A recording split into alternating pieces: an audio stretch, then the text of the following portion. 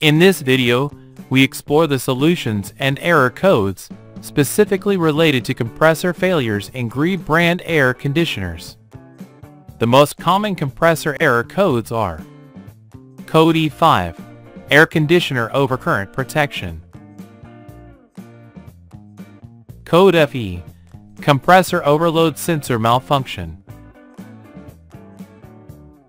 Code H3, Compressor Overload Protection.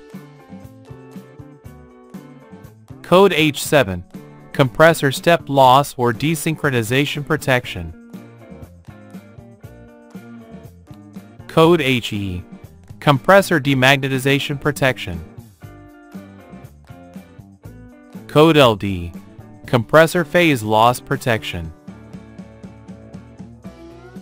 Code LE, Compressor Rotor Lock Protection. Code P5, Compressor Phase Overcurrent Protection. Code U1, Compressor Phase Current Detection Circuit Malfunction. Code 2, Compressor Phase Loss Protection. Code U4, Compressor Reversal Protection. The solutions to the aforementioned problems may include 1. For compressor overload issues, check for possible false alarms by verifying the connections of the overload sensor located on top of the compressor housing. Additionally, disconnect the compressor's overload sensor from the electronic board, inspect the wire's condition, and check for continuity on the sensor's pins with the equipment powered off. 2. For compressor overcurrent issues, make sure to clean the heat exchangers of the indoor and outdoor units. Verify the proper rotation of the fans, check that the equipment is receiving the correct voltage, and inspect all compressor connections. 3. For desynchronization, demagnetization, and phase loss issues, disconnect the compressor from the electronic board and, Using a multimeter in the ohm scale, measure the resistance between the compressor pin pairs. The resistance values between each pin pair should be equal. Ensure the compressor connection cable is properly connected.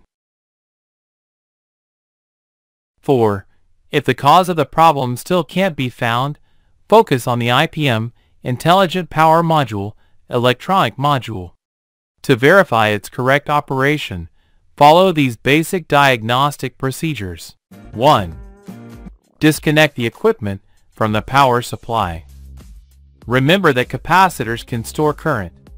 Use a multimeter on the DC voltage scale to measure across the capacitors and ensure they are discharged. 2. Locate the IPM electronic circuit. The IPM electronic circuit is covered by heat dissipating fins. Its pins are connected via three independent tracks and an electrical connector to the three compressor pins. 3. Positive power supply. Identify the high voltage positive power supply of the IPM electronic circuit by tracing the positive track from the largest high voltage capacitors to the IPM electronic circuit. 4. Negative power supply.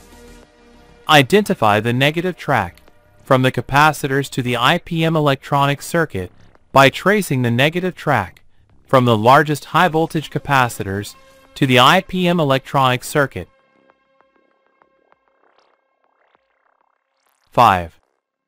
Identify the output points U, V, W. These can be identified by following the tracks, from the compressor connectors to the IPM electronic circuit. 6. Set the multimeter to the diode scale. 7. The IPM electronic circuit is internally composed of six IGBT transistors each containing a diode that we will test. Let's start with the integrity test of the first three diodes. A. Place the black probe of the multimeter on the positive input of the IPM electronic circuit. B. Use the red probe to measure the points U, V, W. C. The minimum voltage activation values should be around 0.45 volts for each measurement. D. The measurement obtained between the negative supply and each pin, U, V, W, should yield practically the same reading. Let's proceed with the integrity test of the last three diodes. A. Place the red probe of the multimeter on the negative input of the IPM electronic circuit. B. Use the black probe to measure the points U, V, W. C. The minimum voltage activation values should be similar to those obtained previously. D. The measurement obtained between the negative supply and each pin, U, V, W, should yield practically the same reading. If everything seems fine with the IPM electronic circuit, you can perform the following test. A. Connect the electronic board to the power supply, taking the necessary precautions. B. Set the multimeter to the DC voltage scale at 400 volts. C. Place the red probe of the multimeter on the positive power supply of the IPM electronic circuit. D.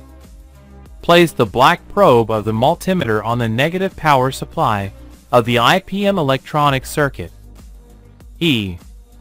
The power supply value will depend on your electronic board's power supply, expecting values around 150 volts for a 110 volt supply and approximately 300 volts for a 220 volt supply.